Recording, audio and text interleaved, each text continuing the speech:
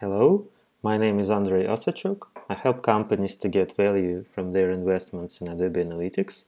I am an Adobe certified expert with 9 years experience and provide consulting, implementation, data analysis and training services. In this video, you will get to know one of the causes why companies may fail to get insights from their analytics solution. And the subject of this video is naming convention or worst practice for building page names. And at the same time, we will also talk about best practices for building page names. Let's get started. I will continue the audit of the Audi website and let's have a look at what we have as a value for page name. So this is the home page of the German version and we can see d slash brand slash d. And if we switch to Swiss version this is also the home page.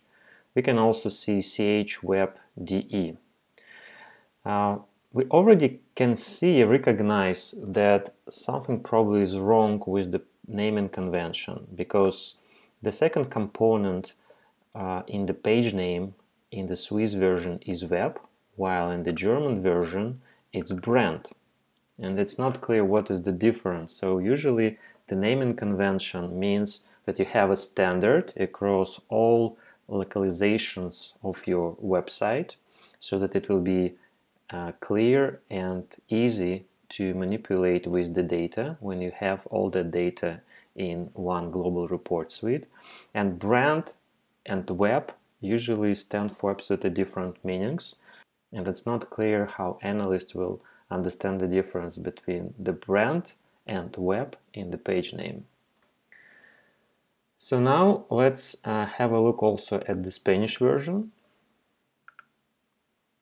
and we also can recognize web here.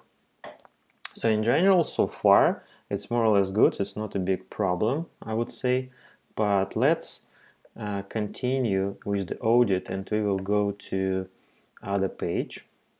We will select A1 Sportback and select the same page on other websites.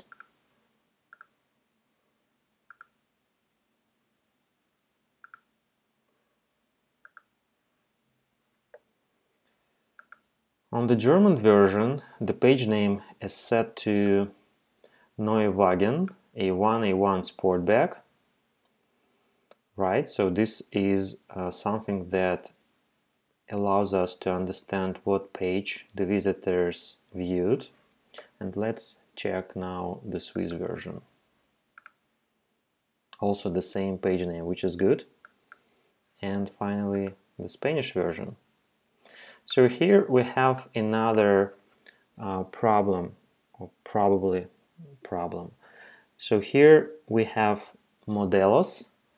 Uh, so basically this is Spanish um, word that was used for the page name, while on the Swiss and German version we have Neue Wagen, which is the German name of the uh, section. And this is again the problem because the more localizations you have, the more unique values you should expect in your page names uh, report. This will be very complicated to analyze how the customers and visitors view the website since every single page, which is the same uh, in terms of the content, has its own name, its localized name. And for example, imagine that you want to understand the traffic volume on the page that is dedicated to A1 Sportback model. And in this case, it will be hardly possible since the page name itself has different names. In this case, this is Neue Wagen. In the Spanish version, this will be Modelos. So this is um, this means that there is no strict naming convention across different locales of the website and this may become a problem. But let's dig deeper and now we will take a look at the page which describes technical details of the model. And I will proceed with that on every locale.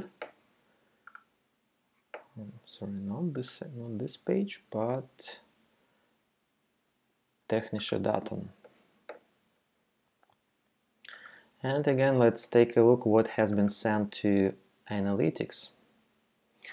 This is the page name and uh, you can see that this is uh, quite long name and as you may recognize it's absolutely unclear what is sent after engine compare.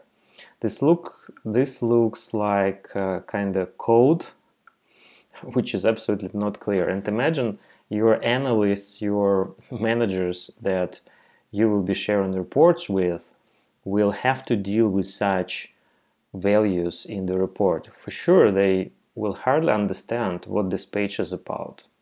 But now let's take a look also at the Swiss version. So here we have a better name. Uh, we have engine compare.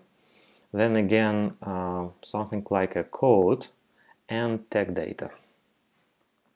And uh, German version finally.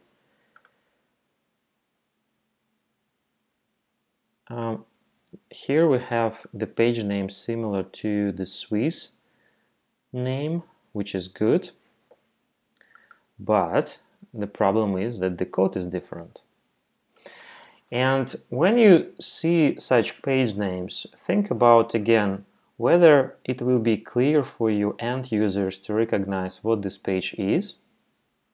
Then think about how to find the same page but for different localizations. In this case, you should expect absolutely different values for all of the websites in the pages report, which is not good.